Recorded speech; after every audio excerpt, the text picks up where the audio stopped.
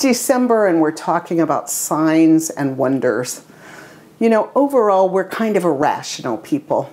We might talk about the stars that pointed to Jesus and wonder if some, you know, astronomical thing was going on to make them especially bright. Or I heard uh, a parody of Unitarian Universalism years ago that actually converted a friend of mine to come and check out the congregation. It was a remake of a Christmas hymn that said, God bless ye Unitarians, let nothing you dismay. Remember, there's no evidence there was a Christmas day. When Christ was born, we do not know, no matter what they say.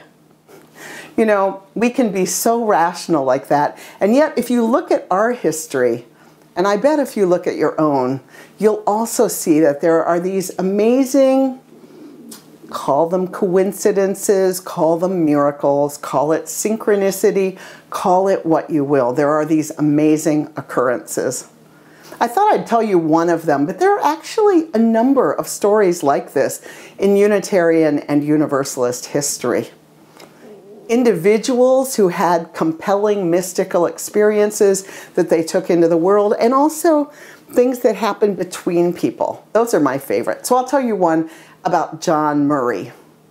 John Murray was a preacher in England in the 1700s, and he had a very good life. He had a family that he loved, he had a daughter and a wife, and he came to understand God as all loving. He came to understand that Calvinism was wrong and he didn't believe a loving God would create hell. And he said this. And it wasn't good. He struggled for a while. He got excommunicated. And then tragically, his wife and daughter died. And at that point, he just kind of said, forget it. Forget the loving God thing. I don't know why I thought that was true. Uh, forget it. I'm not, I don't believe it anymore. So, in this place of some despair, he decided to leave England and go to New York. So, we got on a boat called the Hand in Hand and started sailing to New York. And a brutal storm came along when they were near the coast, and he actually wound up in New Jersey, someplace he really hadn't intended to go. And but he had some time because there was no wind. The ship couldn't leave New Jersey. It was just there on the rocks. So he got up and he walked to see what was going on in this place in New Jersey where he'd landed. So this was 1770 that his ship, you know, got beached in New Jersey.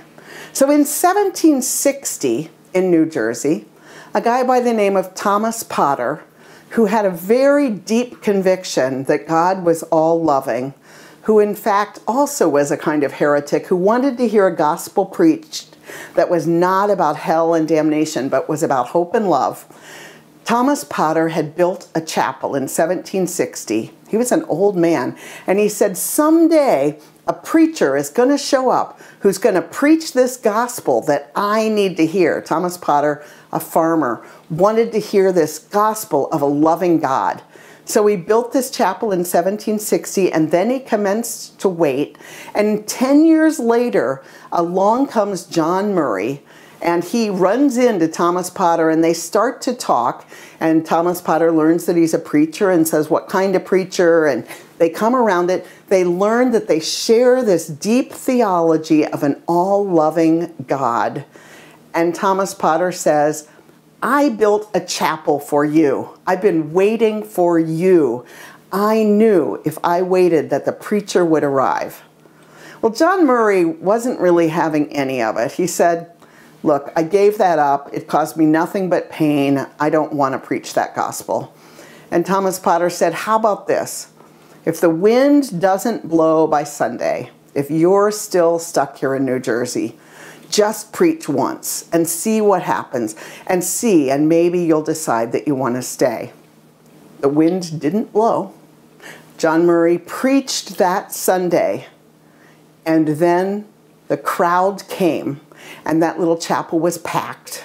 And John Murray stayed there then for decades, and that was his congregation until he eventually went up to Gloucester, Massachusetts, on the Cape, and started a congregation up there as well these early congregational settings. In 1886, the Universalists put up a historical marker to mark where that chapel had been. And in fact, where John Murray landed, it's now a Unitarian Universalist camp called Murray Grove and Conference Center. Gorgeous place. I commend it to you to go sometime. I love stories like this because they say the whole foundation of how universalism began to be practiced in the United States was as whimsical as the wind blowing or not blowing. So many things when you start to talk to someone. How did you meet your spouse? How did you happen to live in this city? How did you happen to study what you studied? People will say something like, Well, I didn't really mean to, except that the day that I was going to go here, I couldn't go, so I went there, and then I fell in love. Where they just tell you amazing stories about the circuitous ways the, the most profound parts of our lives are determined. Which way the wind was blowing, or whether the wind stopped blowing. We all have these stories of miraculous things that happen, and I say, why not enjoy them? I have a friend who is the most rational person I know her whole life is built on a very scientific, rational belief system. And one night she had a dream where she was told that she needed to leave where she lived and go to another city. Well, she thought this was ridiculous. This is a true story. This isn't a fable. This is a true story. She thought that was ridiculous. So she said, Why would I do that?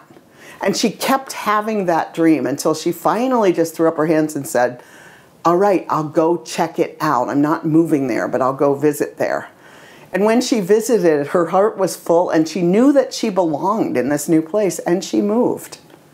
When we listen to our dreams, when we listen to the signs that are around us that seem to be pointing us in some way, why not investigate them?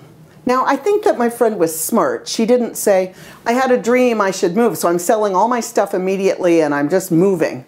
You know, there are stories of people who do that more bold following. I'm of the you know, follow the dream and, you know, what do they say? Praise Allah and tie your camel to a post. I'm for the check it out and, you know, as much as you can, do it a little bit at a time and make sure. Because I don't know about you, but there are so many signs around, I couldn't possibly honor them all. So I urge you to be more like John Murray and say, well, look, if the wind doesn't blow by Sunday, I'll preach once and then we'll see what happens from there. I urge you to stand in what you learn rationally, but always to be open to the signs, to the wonders, to the mystery of life. Because so often, that unexpected place is where the deepest joy ends up coming in. May you honor the signs this month and every month, and may we together seek to understand the signs of our times, our common times by sharing not only what's painful, what's going on that's hard in this world, but also those tiny, miraculous connections